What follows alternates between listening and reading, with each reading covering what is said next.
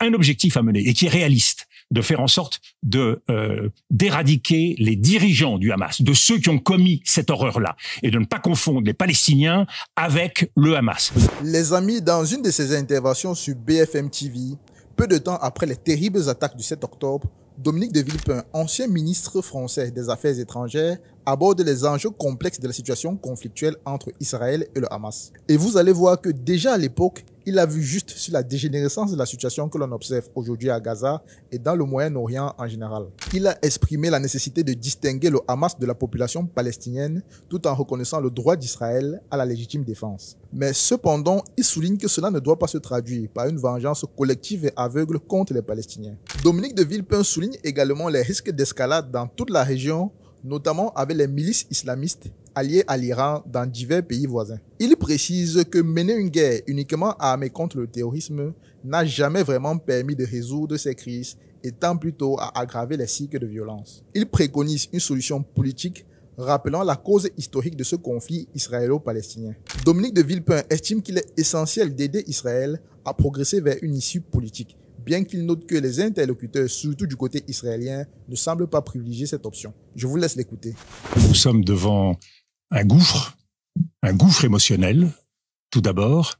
Euh, face à, l'horreur du, 7 octobre, euh, il y a aujourd'hui le sentiment d'une menace existentielle pour euh, chaque Israélien. C'est la première fois que Israël est attaqué sur son sol et les bombardements que nous voyons euh, sur Gaza euh, euh, ne laissent que peu d'espoir à la plupart des populations civiles de Gaza.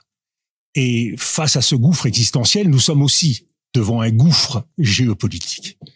Ce gouffre géopolitique, c'est l'absence de perspective face à une offensive terrestre massive. Pour Gaza, pas d'autre perspective qu'un bain de sang. Il y a bien sûr euh, le risque d'extension de ce conflit quand on voit euh, la situation dans la région, à la fois euh, les factions islamistes, les milices islamistes qui obéissent à l'Iran, au Liban, en Irak, en Syrie, au Yémen, et les possibilités d'engrenage qui existent dans cette région. Il y a un droit de légitime défense d'Israël. Mais ce droit ne peut pas être une vengeance indiscriminée.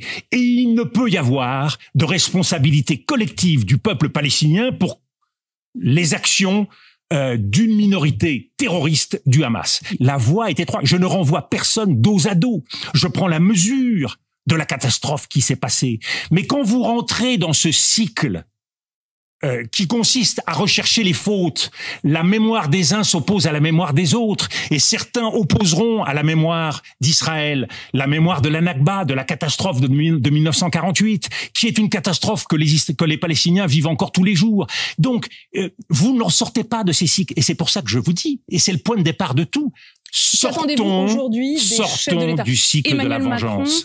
Il y a des choses qu'aucune armée au monde ne sait faire. C'est gagner dans un combat asymétrique contre les terroristes. La guerre contre le terrorisme n'a jamais été gagnée nulle part. Et elle enclenche au contraire euh, des méfaits et des cycles et des engrenages extrêmement dramatiques. Les Occidentaux doivent ouvrir les yeux sur l'ampleur du drame historique qui se joue devant nous, il faut une perspective politique. Et là, c'est difficile parce que la solution à deux États, elle est sortie du logiciel politique et diplomatique israélien et que, comme vous le dites très bien, dans le contexte d'aujourd'hui, ça apparaît quelque peu irénique que de dire on va euh, essayer diplomatiquement de gérer les choses. Mais les peuples n'ont jamais oublié que la cause palestinienne et l'injustice qui est faite aux Palestiniens était une source de mobilisation considérable. Prenons en compte cette situation et je crois qu'il est essentiel d'aider Israël, d'accompagner. Certains parlent d'imposer. Je crois qu'il vaut mieux convaincre d'avancer dans cette, dans cette voie-là. La difficulté, c'est qu'il n'y a pas d'interlocuteur aujourd'hui, ni du côté israélien, ni du côté palestinien. Il faut faire émerger des interlocuteurs. Ces analyses de Dominique de Villepin, qui datent de plus d'un an, nous frappent par leur justesse et leur pertinence au vu des événements actuels au Moyen-Orient. Dites-moi ce que vous en avez pensé et partagez vos avis en commentaire. N'oubliez bien sûr pas de liker cette vidéo et de vous abonner pour ne manquer aucune de mes prochaines publications. On se donne rendez-vous à la prochaine vidéo. D'ici là, portez-vous bien. Bye.